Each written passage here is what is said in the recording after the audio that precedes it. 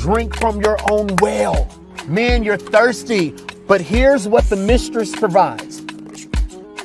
This is going to make you more thirsty. But here's what your wife can provide. Drink from your drink from your own well. This is what you need. This is only going to have you wanting more. This tastes good initially, but it's not good for you eventually. This is pure.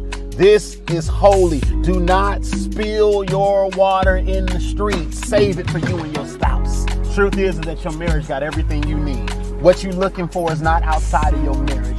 It's already inside of your marriage. You just have to have the commitment to reach down in and pull it out.